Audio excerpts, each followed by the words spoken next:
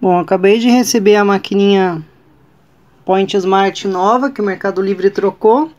Trocou o chip da TIM também, enviou com o chip da Claro. Liguei a maquininha pela primeira vez, né? E vou testar agora. O que, que apareceu? Há uma atualização de sistema disponível. Observe que o processo pode levar alguns minutos. Então, vou, vou atualizar. Vamos ver. Apareceu 4G ali em cima, né? Eu gostei que veio 4G.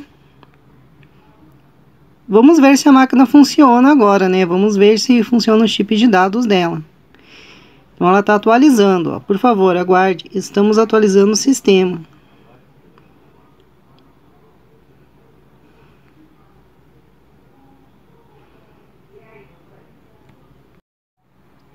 Bom, apareceu esse aviso, né? Que bom. Olá, que bom. Olá, que bom que você já está com a sua Point Smart. Você pode aceitar as principais cartões com chip, tarja magnética ou aproximação. Você também pode cobrar com QR Code.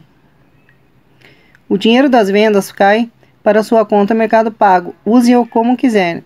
Bom, enfim, né? Vamos começar então. Conectar Wi-Fi ou conectar 4G. Bom, vou conectar o 4G que eu quero que ela funcione em qualquer lugar onde eu estiver. Qualquer lugar na rua, por, por exemplo.